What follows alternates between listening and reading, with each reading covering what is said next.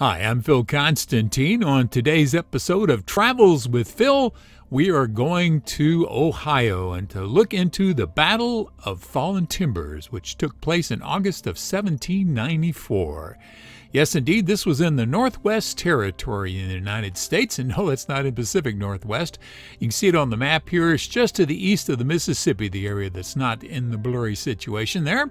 And this is just after the American Revolution that this area was set up by the Northwest Ordinance, and these are the Indian tribes that lived out there in the states where they were at.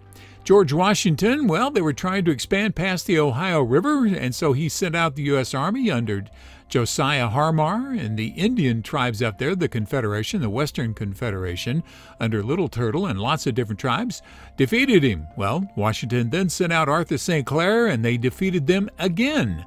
And then finally, George sent out Mad Anthony Wayne. Well, this is the area that he came into. This is the Northwest Territory, and he came up out of the area around Cincinnati. And as he went along, he did it differently than the previous armies. So let's take a look at the area. This is Cincinnati, where he started his trip in, and it took him over a year to get there. He built uh, little forts, stockades as he went along to protect his supply lines. He stopped in Fort Recovery, built a spot there, and that's where St. Clair was defeated. And that was the biggest defeat in U.S. military history uh, by percentages and then eventually came up toward uh, Fort Defiance. He set that up, and that was a large group of villages up there. So he set up a fort there and got almost to Toledo, or modern day Toledo. Toledo was not there at the time, and this is where the Fallen Timbers battlefield is located. And you can see here that it's uh, the battlefields to your left. Fort Miami is another important spot there. And then uh, as you come into the park itself, it's in several sections. Now, this is the main visitor center. Lots of signs out there, so you'll be able to find out what's going on if you're not familiar with this battle, and a lot of people aren't. So, even though this is one of the most important ones in early American history, and these are the Confederate, uh, the American Indian tribe allies there. These are some of the leaders Little Turtle, Blue Jacket are some of the better known ones. These are some of the leading U.S. figures, including a former, a future president, Travels with Phil continues here in uh, not too far from Toledo, Ohio, at what's called the uh, Fallen Timbers Battleground. And you can see definitely some still some fallen timbers left out there. Uh, this was an area where uh, American forces under General Mad Anthony Wayne uh, met up with a bunch of uh, American Indians here. They were called the Western Confederacy. could be Wyandots, Delaware, Ottawa, Miami, Shawnee, and Mingo.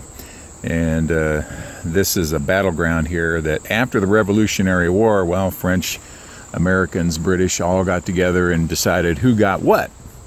And so, you know, the Americans got certain things, British got certain things, French got other things, etc., etc., etc., except the only people that weren't included were the American Indians, or Native Americans, if you prefer. And it was this battle here where the American Indians finally got together and decided, well, we're not going to put up with this anymore. Now, this was called the Northwest Territory, so they started fighting back. Now, they defeated Harmar, they defeated St. Clair in this uh, general part of the country. What's always struck me as a little bit unusual is that this is what's called the Northwestern Territory. And uh, yeah, well, back in those days, as far as the United States was concerned, yeah, this was the Northwest, even though it's on the eastern side of the Mississippi River. But uh, this is one of the biggest battles that happened in the post-Revolutionary War and one of the biggest battles ever as far as uh, American Indians and uh, American Army forces were concerned. So from Fallen Timbers Battlefield, just out of Toledo, Ohio, Travels with Phil continues. Travels with Phil continues at the uh, Battle of Fallen Timbers. There you go. You can see it on the picture there. And this is the area out there where most of it happened, a little bit out here. Uh, why was it called Fallen Timbers? Well, there had been a tornado through the area recently, and lots and lots of wood woods were downed. Uh, the Indians numbered about uh, about a thousand. The Americans numbered about two thousand. You can see by one of the signs here who were some of the people involved. Well, there you go. William Henry Harrison eventually became president. Hey, these guys look familiar. They look like Lewis and Clark. And that's because they are Lewis and Clark. They were here. Some of the American Indians that were uh, leaders that were here were uh, a Blue Jacket of the Shawnee, a Little Turtle of the Miami, and Buckongahelas of the uh, Delaware were here. Uh, what happened because of this battle? Uh, eventually, I mean, for all practical purposes, the Indians lost. They wound up giving away a lot of land. This is what was left of Ohio. This is the Ohio now. And basically, they gave up all of the area down here toward the bottom half of the map, down in this area here. They kept some of this except for a big square that you see up there and a few other little spots. But uh, that's because basically they uh, got sort of cornered, for lack of a better term. And this was called the Treaty of Greenville. And uh, this is how the um, United States wound up acquiring a good chunk of Ohio Fallen Timbers. Travels with Phil continues. So let's go over to the monument area across the freeway. Travels with Phil continues at the Falling Timbers Memorial Site. You think about history? Uh, this is a very nice monument right here, and it's uh, the Greenville Treaty, the falling tim- the fallen or fallen timbers, and uh, the only problem is, is this is where they originally thought the battle took place, but it didn't. it took place on the other side of the freeway over there. Now, that granted, there's something may have happened over here, but they thought that this was the main site of the battle. As it turns out, it wasn't. Uh, 1995, uh, there had been some nagging suspicions for a long, long time that this was not the scene of the battle. And by the way, they do have a, a notice here, or what, at least a memorial, I guess, to Chief Little Turtle and the rest of the Indians right there. But uh, turns out this was not the main battle site.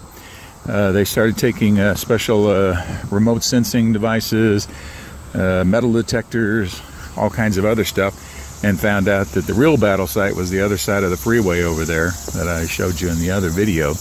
And then they came through and they started finding buttons and bullets and all kinds of stuff that showed that that's where it really happened. They're not that far away, but it's just always interesting how that happens.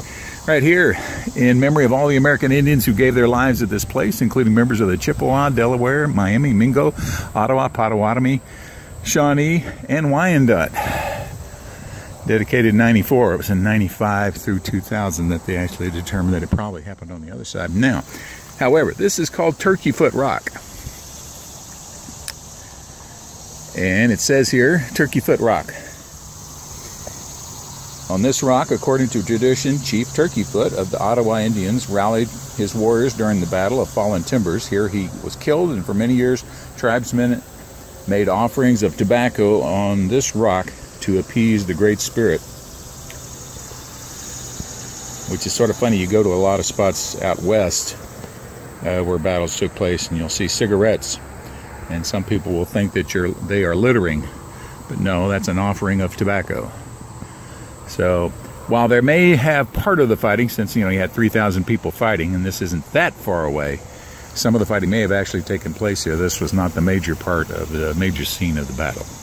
But still interesting stuff. Travels with phil continues now, a lot of the numbers you see are estimates, so there's variations. But uh, the U.S. Army basically won this, and one of the reasons why is because uh, several uh, tribal leaders uh, were either killed or taken out of uh, play, and so this caused confusion. And then the tribes uh, decided, well, we'll go back over to and see if the British will help us out over at Fort Miamis, which is just a couple of miles away. Well, the British had just you know, they were fighting the French. They had signed a treaty with America, so they didn't want to get involved. So they did not open up their fort to allow the American Indian tribes that were fighting the American army to come in. Now, this is the scene of that uh, fort. So this is what led to a lot of disillusionment among the uh, tribes that were willing to fight the American army. And so they just went basically home and gave up and eventually went to the uh, Greenville Treaty and finally, it was one of the first times ever America had signed a treaty and negotiated a treaty among the people who actually lived in the area where the treaty took place. So this was the Battle of Fallen Timber in Ohio.